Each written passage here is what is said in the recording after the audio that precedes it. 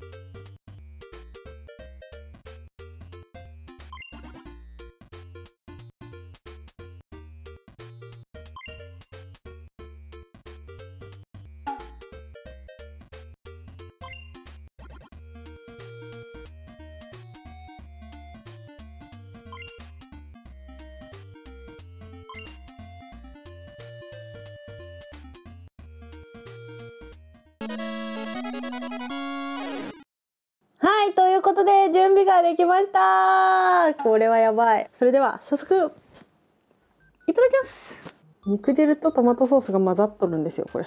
もうこれが美味しいじゃん、絶対。うんああ美味しい。ソースが最高だ。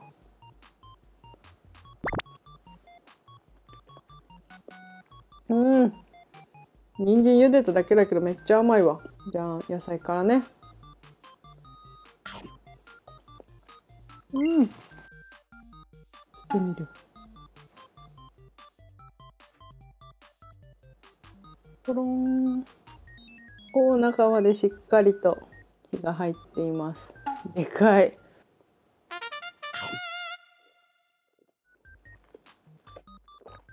うん。美味しい。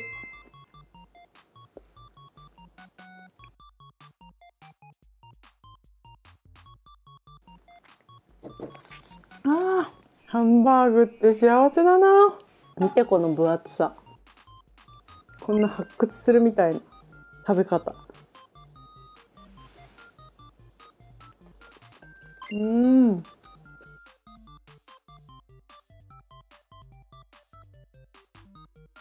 やっぱこのトマトの旨味ってすごいな。肉汁と相まってもうほんと極上の美味しさになる。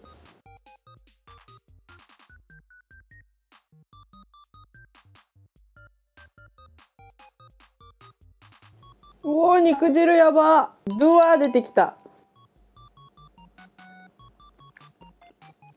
うん。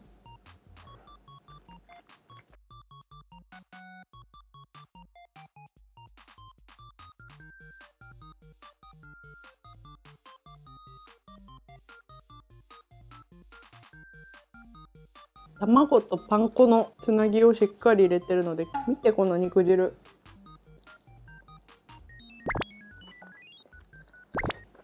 うん。肉汁が閉じこもってるぜ。うん。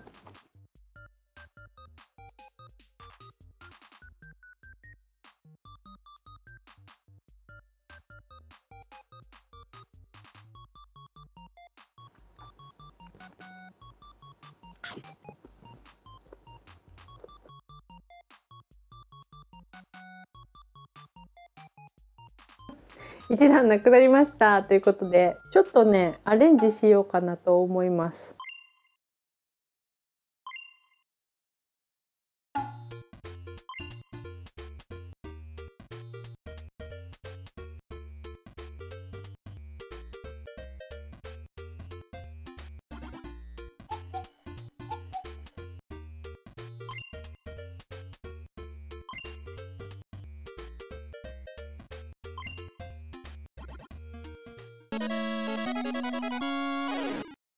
はいということでアレンジしてみました。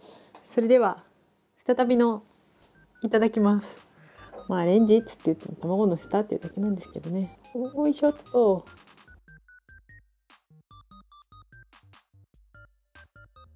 よ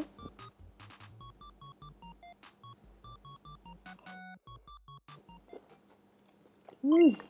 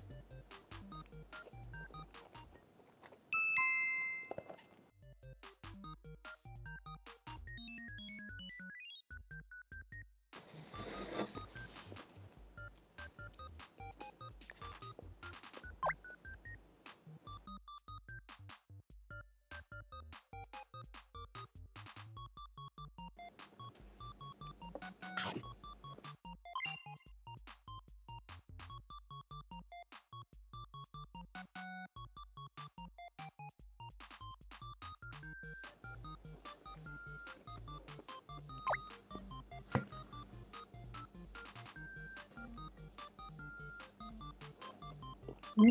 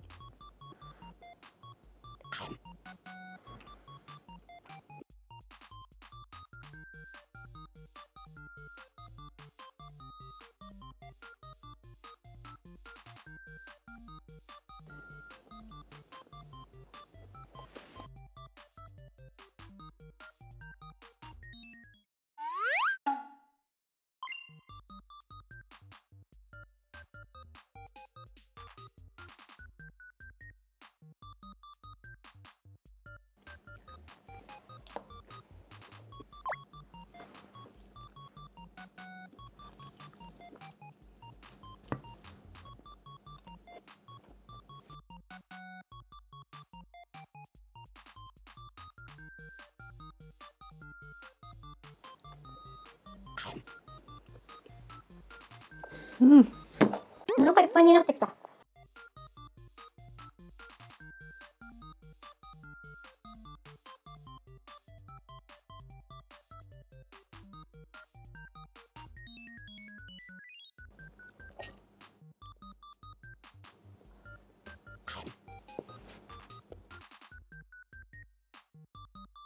なくなった。